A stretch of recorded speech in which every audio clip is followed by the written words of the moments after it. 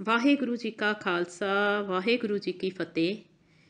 ਪਿਆਰੇ ਬੱਚਿਓ, ਅਸੀਂ ਪਿਛਲੀਆਂ ਕੁਝ ਜਮਾਤਾਂ ਵਿੱਚ ਇੱਕ ਲੜੀ ਸ਼ੁਰੂ ਕੀਤੀ ਸੀ ਇਬਾਦਤ ਤੋਂ ਸ਼ਹਾਦਤ ਵੱਲ, ਜਿਸ ਵਿੱਚ ਸਿੱਖ ਕੌਮ ਦੇ ਸ਼ਹੀਦਾਂ ਦੀਆਂ ਸਾਖੀਆਂ ਸਾਂਝੀਆਂ ਕੀਤੀਆਂ ਗਈਆਂ ਸਨ। ਇਹਨਾਂ ਸ਼ਹੀਦਾਂ ਤੋਂ ਪ੍ਰੇਰਣਾ ਲੈਣ ਲਈ ਸਿੱਖੀ ਸਿਦਕ ਵਿੱਚ ਪਰਪੱਕ ਹੋਣ ਲਈ ਆਓ ਅੱਜ ਇਹਨਾਂ ਸਾਖੀਆਂ ਦੀ ਫਿਰ ਤੋਂ ਦੁਹਰਾਈ ਕਰੀਏ। ਬੱਚਿਓ, ਤੁਹਾਨੂੰ ਪਤਾ ਹੈ ਸ਼ਹੀਦਾਂ ਦੇ ਸਿਰਤਾਜ ਕਿਹਨਾਂ ਨੂੰ ਕਿਹਾ ਜਾਂਦਾ ਹੈ? ਸ੍ਰੀ ਗੁਰੂ ਅਰਜਨ ਸਾਹਿਬ ਜੀ ਨੂੰ। ਕਿਉਂਕਿ ਸਿੱਖ ਕੌਮ ਦੇ ਪਹਿਲੇ ਸ਼ਹੀਦ ਸ੍ਰੀ ਗੁਰੂ ਅਰਜਨ ਸਾਹਿਬ ਜੀ ਹੋਏ ਹਨ। ਗੁਰੂ ਅਰਜਨ ਸਾਹਿਬ ਜੀ ਨੂੰ ਕਿਵੇਂ ਸ਼ਹੀਦ ਕੀਤਾ ਗਿਆ? ਉਹਨਾਂ ਨੂੰ ਉਬਲਦੇ ਪਾਣੀ ਦੀ ਦੇਗ ਵਿੱਚ ਬਿਠਾਇਆ, ਨੰਗੇ ਪਿੰਡੇ ਉੱਤੇ ਗਰਮ-ਗਰਮ ਰੇਤਾ ਪਾਈ ਗਈ। ਫਿਰ ਉਹਨਾਂ ਨੂੰ ਲੋਹ ਉੱਤੇ ਬਿਠਾ ਕੇ ਅੱਗ ਦਾ ਭਾਂਬੜ ਮਚਾ ਦਿੱਤਾ ਗਿਆ। ਸਤਗੁਰ ਜੀ ਦਾ ਸਰੀਰ ਭਾਵੇਂ ਇਹਨਾਂ ਤਸੀਆਂ ਨਾਲ ਛਲਨੀ ਛਲਨੀ ਹੋ ਗਿਆ, ਪਰ ਆਪ ਅਕਾਲ ਪੁਰਖ ਦੇ ਭਾਣੇ ਵਿੱਚ ਅਡੋਲ ਟਿਕੇ ਰਹੇ। ਇਹਨਾਂ ਭਿਆਨਕ ਤਸੀਆਂ ਤੋਂ ਬਾਅਦ ਗੁਰੂ ਜੀ ਦੇ ਸਰੀਰ ਨੂੰ ਰਾਵੀ ਦੇ ਠੰਡੇ ਪਾਣੀ ਵਿੱਚ ਰੋੜ ਦਿੱਤਾ ਗਿਆ। ਉਹਨਾਂ ਅਤੇ ਗੁਰੂ ਸਾਹਿਬ ਜੀ ਸ਼ਹੀਦ ਹੋ ਗਏ। ਉਹਨਾਂ ਜ਼ਾਲਮਾਂ ਦਾ ਮੰਨਣਾ ਸੀ ਕਿ ਸ਼ਹੀਦ ਦਾ ਖੂਨ ਧਰਤੀ ਉੱਤੇ ਨਹੀਂ ਡੁੱਲਣਾ ਚਾਹੀਦਾ, ਕਿਉਂਕਿ ਜਿੰਨੇ ਕਤਰੇ ਸ਼ਹੀਦ ਦੇ ਖੂਨ ਦੇ ਧਰਤੀ ਉੱਤੇ ਡੁੱਲਣਗੇ, ਉਨੇ ਹੀ ਸ਼ਹੀਦ ਪੈਦਾ ਹੋਣਗੇ। ਪਰ ਗੁਰੂ ਅਰਜਨ ਦੇਵ ਜੀ ਦਾ ਭਾਵੇਂ ਇੱਕ ਵੀ ਕਤਰਾ, ਖੂਨ ਦਾ ਇੱਕ ਵੀ ਕਤਰਾ ਜ਼ਮੀਨ ਤੇ ਨਹੀਂ ਡੁੱਲਿਆ, ਪਰ ਸਿੱਖ ਕੌਮ ਵਿੱਚ ਬੇਅੰਤ ਸ਼ਹੀਦ ਪੈਦਾ ਹੋਏ। ਸਿੱਖ ਇਤਿਹਾਸ ਦਾ ਇੱਕ ਇੱਕ ਪਤਰਾ ਸ਼ਹੀਦਾਂ ਦੇ ਖੂਨ ਨਾਲ ਭਰਿਆ ਹੋਇਆ ਹੈ। ਭਾਈ ਮਤੀ ਦਾਸ ਜੀ। ਜਦੋਂ ਗੁਰੂ ਤੇਗ ਬਹਾਦਰ ਜੀ ਦਿੱਲੀ ਸ਼ਹੀਦ ਹੋਣ ਵਾਸਤੇ ਗਏ, ਤਾਂ ਭਾਈ ਮਤੀ ਦਾਸ ਜੀ ਉਹਨਾਂ ਦੇ ਨਾਲ ਸਨ। ਭਾਈ ਮਤੀ ਦਾਸ ਜੀ ਗੁਰੂ ਤੇਗ ਬਹਾਦਰ ਜੀ ਦੇ ਦਰਬਾਰ ਵਿੱਚ ਕੀ ਸੇਵਾ ਕਰਦੇ ਸੀ? ਦੀਵਾਨ ਦੀ ਪਦਵੀ ਤੇ ਸਨ। ਉਹਨਾਂ ਨੂੰ ਦਿੱਲੀ ਵਿੱਚ ਆਰੇ ਨਾਲ ਚੀਰ ਕੇ ਸ਼ਹੀਦ ਕੀਤਾ ਗਿਆ। ਬੱਚਿਓ ਤੁਹਾਨੂੰ ਪਤਾ ਹੈ ਕਿ ਜਦੋਂ ਉਹਨਾਂ ਤੋਂ ਪੁੱਛਿਆ ਗਿਆ ਕਿ ਤੁਹਾਡੀ ਆਖਰੀ ਇੱਛਾ ਕੀ ਹੈ, ਤਾਂ ਉਹਨਾਂ ਨੇ ਕੀ ਕਿਹਾ? ਕਿ ਮੇਰਾ ਮੂੰਹ ਮੇਰੇ ਮੁਰਸ਼ਦ ਵੱਲ, ਭਾਵ ਗੁਰੂ ਤੇਗ ਬਹਾਦਰ ਜੀ ਵੱਲ ਹੋਣਾ ਚਾਹੀਦਾ ਹੈ। ਇਹ ਹਨ ਭਾਈ ਦਿਆਲਾ ਜੀ। ਭਾਈ ਦਿਆਲਾ ਜੀ ਵੀ ਗੁਰੂ ਤੇਗ ਬਹਾਦਰ ਜੀ ਦੇ ਨਾਲ ਦਿੱਲੀ ਗਏ ਸਨ। ਇਹਨਾਂ ਨੇ ਆਪਣੀਆਂ ਅੱਖਾਂ ਸਾਹਮਣੇ ਭਾਈ ਮਤੀ ਦਾਸ ਜੀ ਨੂੰ ਸ਼ਹੀਦ ਹੁੰਦੇ ਦੇਖਿਆ ਸੀ। ਭਾਈ ਦਿਆਲਾ ਜੀ ਨੂੰ ਦੇਗ ਵਿੱਚ ਉਬਾਲ ਕੇ ਸ਼ਹੀਦ ਕੀਤਾ ਗਿਆ। ਇਹ ਭਾਈ ਮਨੀ ਸਿੰਘ ਜੀ ਦੇ ਭਰਾ ਸਨ। ਭਾਈ ਸਤੀ ਦਾਸ ਜੀ ਆਪ ਗੁਰੂ ਤੇਗ ਬਹਾਦਰ ਜੀ ਦੇ ਦਰਬਾਰ ਵਿੱਚ ਲਿਖਾਰੀ ਦੀ ਸੇਵਾ ਕਰਦੇ ਸਨ। ਗੁਰੂ ਤੇਗ ਬਹਾਦਰ ਜੀ ਨਾਲ ਦਿੱਲੀ ਗਏ ਅਤੇ ਆਪਣੀਆਂ, ਆਪਣੇ ਸਾਹਮਣੇ ਭਾਈ ਮਤੀ ਦਾਸ, ਭਾਈ ਦਇਆਲਾ ਜੀ ਨੂੰ ਸ਼ਹੀਦ ਹੁੰਦੇ ਦੇਖਿਆ। ਆਪ ਭਾਈ ਮਤੀ ਦਾਸ ਜੀ ਦੇ ਭਰਾ ਸਨ। ਭਾਈ ਸਤੀ ਦਾਸ ਜੀ ਨੂੰ ਕਿਵੇਂ ਸ਼ਹੀਦ ਕੀਤਾ ਗਿਆ? ਰੂਹ ਵਿੱਚ ਲਪੇਟ ਕੇ ਉਹਨਾਂ ਨੂੰ ਜਿੰਦੇ ਹੀ ਅੱਗ ਲਗਾ ਦਿੱਤੀ ਗਈ। ਬਾਬਾ ਅਜੀਤ ਸਿੰਘ ਜੀ। ਗੁਰੂ ਗੋਬਿੰਦ ਸਿੰਘ ਸਾਹਿਬ ਜੀ ਦੇ ਵੱਡੇ ਸਾਹਿਬਜ਼ਾਦੇ, ਜਿਨ੍ਹਾਂ ਦੀ ਧਾਰਮਿਕ, ਸੰਸਾਰਕ ਅਤੇ ਸ਼ਾਸਤਰ ਵਿਦਿਆ ਦੀ ਸਿਖਲਾਈ ਗੁਰੂ ਗੋਬਿੰਦ ਸਿੰਘ ਜੀ ਦੀ ਨਿਗਰਾਨੀ ਹੇਠ ਹੋਈ।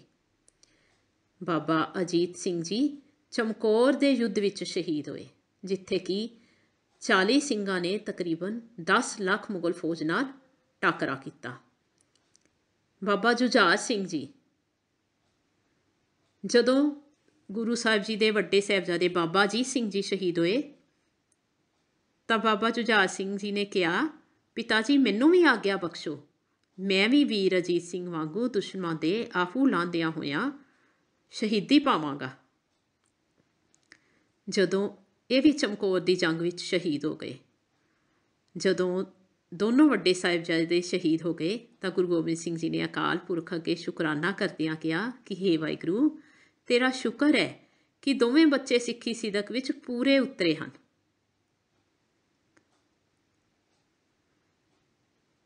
ਬਾਬਾ ਜੋਰਾਵਰ ਸਿੰਘ ਅਤੇ ਬਾਬਾ ਫਤਿਹ ਸਿੰਘ ਜੀ। ਗੁਰੂ ਗੋਬਿੰਦ ਸਿੰਘ ਸਾਹਿਬ ਜੀ ਦੇ ਛੋਟੇ ਸਾਹਿਬਜ਼ਾਦੇ।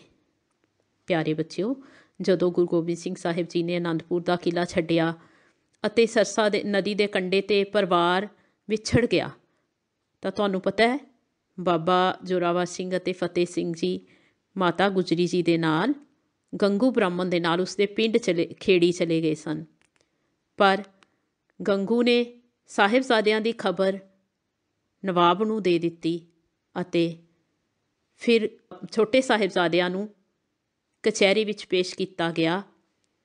ਨਵਾਬ ਵਜ਼ੀਰ ਖਾਂ ਨੇ ਇਹਨਾਂ ਨੂੰ ਨੀਹਾਂ ਵਿੱਚ ਚਿਣਾ ਕੇ ਸ਼ਹੀਦ ਕਰ ਦਿੱਤਾ ਗਿਆ। ਭਾਈ ਉਦੈ ਸਿੰਘ ਜੀ, ਭਾਈ ਬਚਿੱਤਰ ਸਿੰਘ ਜੀ ਦੇ ਭਰਾ ਸਨ, ਜਿਨ੍ਹਾਂ ਨੇ ਕਿ ਨਾਗਨੀ ਬਰਛੇ ਨਾਲ ਮਸਤ ਹਾਥੀ ਦਾ ਮੁਕਾਬਲਾ ਕੀਤਾ ਸੀ ਅਤੇ ਇਹ ਸ਼ਹੀਦ ਭਾਈ ਮਨੀ ਸਿੰਘ ਜੀ ਦੇ ਸੁਪੁੱਤਰ ਸਨ। ਪਿਆਰੇ ਬੱਚਿਓ, ਭਾਈ ਉਦੈ ਸਿੰਘ ਜੀ ਕਿਵੇਂ ਸ਼ਹੀਦ ਹੋਏ ਸਨ? ਤੁਹਾਨੂੰ ਯਾਦ ਹੈ, ਜਦੋਂ ਗੁਰੂ ਗੋਬਿੰਦ ਸਿੰਘ ਜੀ ਅਤੇ ਹੋਰ ਸਿੰਘਾਂ ਨੇ ਅਨੰਦਪੁਰ ਸਾਹਿਬ ਦਾ ਕਿਲ੍ਹਾ ਛੱਡਿਆ ਅਤੇ ਸਰਸਾ ਨਦੀ ਦੇ ਕੋਲ ਪਹੁੰਚੇ। ਉਸ ਸਮੇਂ ਮੁਗਲ ਫੇ- ਫੌਜਾਂ ਨੇ ਹੱਲਾ ਬੋਲ ਦਿੱਤਾ। ਤਾਂ ਭਾਈ ਉਦੈ ਸਿੰਘ ਜੀ ਨੇ ਬਾਬਾ ਅਜੀਤ ਸਿੰਘ ਜੀ ਦੇ ਨਾਲ ਦੁਸ਼ਮਣ ਦੀਆਂ ਫੌਜਾਂ ਦਾ ਮੁਕਾਬਲਾ ਕੀਤਾ ਅਤੇ ਇਹਨਾਂ ਨੇ ਉਨੀ ਦੇਰ ਦੁਸ਼ਮਣ ਨੂੰ ਰੋਕੀ ਰੱਖਿਆ, ਜਿਤਨੀ ਦੇਰ ਤੱਕ ਸਿੰਘ, ਹੋਰ ਸਿੰਘ ਅਤੇ ਗੁਰੂ ਗੋਬਿੰਦ ਸਿੰਘ ਜੀ ਸਰਸਾ ਨਦੀ ਨੂੰ ਪਾਰ ਨਹੀਂ ਕਰ ਗਏ ਸਨ।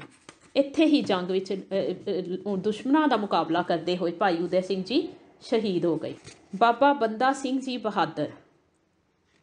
ਪਿਆਰੇ ਬੱਚਿਓ, ਇਹ ਉਹ ਸਿੰਘ ਹਨ ਜਿਨ੍ਹਾਂ ਨੇ ਸਭ ਤੋਂ ਪਹਿਲਾਂ ਸਿੱਖ ਰਾਜ ਕਾਇਮ ਕੀਤਾ ਸੀ। ਪਰ ਤੁਹਾਨੂੰ ਪਤਾ ਹੈ, ਪਹਿਲਾਂ ਇਹਨਾਂ ਦਾ ਨਾਮ ਕੀ ਸੀ? ਲਛਮਣ ਦਾਸ। ਫਿਰ ਇਹ ਇੱਕ ਹਿਰਨ ਦਾ ਸ਼ਿਕਾਰ ਕਰਨ ਤੋਂ ਬਾਅਦ, ਤੁਹਾਨੂੰ ਯਾਦ ਹੈ ਨਾ ਸਾਖੀ, ਮਾਧੋ ਦਾ ਬੈਰਾਗੀ ਬਣ ਗਏ ਤੇ ਇਹਨਾਂ ਦਾ ਨਾਮ ਮਾਧੋ ਦਾਸ ਬੈਰਾਗੀ ਰੱਖ ਦਿੱਤਾ ਗਿਆ। ਜਦੋਂ ਇਹ ਗੁਰੂ ਗੋਬਿੰਦ ਸਿੰਘ ਜੀ ਨੂੰ ਗੋਦਾਵਰੀ ਨਦੀ ਦੇ ਕੰਢੇ ਤੇ ਆਪਣੇ ਡੇਰੇ ਤੇ ਗੁਰੂ ਗੋਬਿੰਦ ਸਿੰਘ ਜੀ ਨੂੰ ਮਿਲੇ, ਤਾਂ ਗੁਰੂ ਗੋਬਿੰਦ ਸਿੰਘ ਜੀ ਨੇ ਖੰਡੇ ਬਾਟੇ ਦਾ ਅੰਮ੍ਰਿਤ ਛਕਾ ਕੇ ਇਹਨਾਂ ਨੂੰ ਸਿੰਘ ਸਜਾਇਆ ਅਤੇ ਇਹਨਾਂ ਦਾ ਨਾਮ ਬੰਦਾ ਸਿੰਘ ਰੱਖਿਆ। ਗੁਰੂ ਗੋਬਿੰਦ ਸਿੰਘ ਜੀ ਨੇ ਬਾਬਾ ਬੰਦਾ ਸਿੰਘ ਬਹਾਦਰ ਨੂੰ ਸ਼ਸਤਰ ਦੇ ਕੇ ਅਤੇ ਪੰਜ ਸਿੰਘ ਭੇਜ ਕੇ ਪੰਜਾਬ ਵੱਲ ਭੇਜਿਆ। ਬਾਬਾ ਜੀ ਨੇ ਸਰਹੰਦ ਦੀ ਇੱਟ ਨਾਲ ਇੱਟ ਖੜਕਾ ਦਿੱਤੀ ਅਤੇ ਸਿੱਖ ਰਾਜ ਕਾਇਮ ਕੀਤਾ। ਬੱਚਿਓ, ਉਸ ਸਮੇਂ ਦਾ ਬਾਦਸ਼ਾਹ ਸੀ ਫਰਖਸ਼ੀਰ ਉਸਨੇ ਸਿੱਖਾਂ ਦੀ ਵੱਧ ਰਹੀ ਤਾਕਤ ਨੂੰ ਵੇਖ ਕੇ ਬਹੁਤ ਗੁੱਸਾ ਖਾਦਾ ਅਤੇ ਬਾਬਾ ਬੰਦਾ ਸਿੰਘ ਬਹਾਦਰ ਜੀ ਨੂੰ ਗ੍ਰਿਫਤਾਰ ਕਰ ਲਿਆ। ਬਾਬਾ ਬੰਦਾ ਸਿੰਘ ਜੀ ਅਤੇ ਇਹਨਾਂ ਦੇ ਨਾਲ ਹੋਰ ਕਿ- ਕਿੰਨੇ ਬਹੁਤ ਸਿੱਖ ਗ੍ਰਿਫਤਾਰ ਹੋਏ, ਪਰ ਕਿਸੇ ਨੇ ਵੀ ਸਿੱਖੀ ਤੋਂ ਮੂੰਹ ਨਹੀਂ ਮੋੜਿਆ। ਸਾਰੇ ਸਿੰਘਾਂ ਨੂੰ ਵੀ ਸ਼ਹੀਦ ਕਰ ਦਿੱਤਾ ਗਿਆ ਅਤੇ ਬਾਬਾ ਜੀ ਨੂੰ ਗਰਮ ਜੰਬੂਰਾ ਨਾਲ ਸਰੀਰ ਨੋਚਿਆ ਗਿਆ। ਬਾਬਾ ਜੀ ਦੇ ਪੁੱਤਰ ਦਾ ਕਲੇਜਾ ਕੱਢ ਕੇ ਉਹਨਾਂ ਦੇ ਮੂੰਹ ਵਿੱਚ ਤੁੰਨਿਆ ਗਿਆ, ਪਰ ਫਿਰ ਵੀ ਬਾਬਾ ਜੀ ਡੋਲੇ ਨਹੀਂ ਅਤੇ ਤਸੀਹੇ ਸਹਿੰਦਿਆਂ ਆਪਣੀ ਜਾਨ ਨਿਛਾਵਰ ਕਰ ਦਿੱਤੀ। ਸਿੱਖੀ, ਪਰ ਸਿੱਖੀ ਸਿਦਕ ਨਹੀਂ ਛੱਡਿਆ। ਪਿਆਰੇ ਬੱਚੋ, ਇਹ ਸਾਰੀ ਸ਼ਕਤੀ ਅੰਮ੍ਰਿਤ ਦੀ ਸੀ, ਗੁਰਬਾਣੀ ਦੀ ਸੀ ਜਿਸ ਨੇ ਬਾਬਾ ਬੰਦਾ ਸਿੰਘ ਬਹਾਦਰ ਜੀ ਨੂੰ ਇੰਨਾ ਬਹਾਦਰ ਬਣਾ ਦਿੱਤਾ ਸੀ। ਵਾਹਿਗੁਰੂ ਜੀ ਕਾ ਖਾਲਸਾ, ਵਾਹਿਗੁਰੂ ਜੀ ਕੀ ਫਤਿਹ।